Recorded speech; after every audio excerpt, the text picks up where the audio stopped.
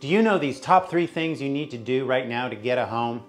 My name is Philip Kaake and I'm with Compass Real Estate here in the East Bay and I've been helping people buy homes in this area since 2005. The first thing to do is to educate yourself on the market. Many homes sell quickly and many of them also are sold off market. On the Compass website we have many private exclusives and coming soons that you can view. Number two is to get connected to a local agent who knows the market and also has built relationships with other agents in the area so you also find out about those off-market properties. Number three is to get pre-approved for a loan. With COVID-19, we have no more public open homes and many sellers require a potential buyer to submit a pre-approval letter before they even view a home.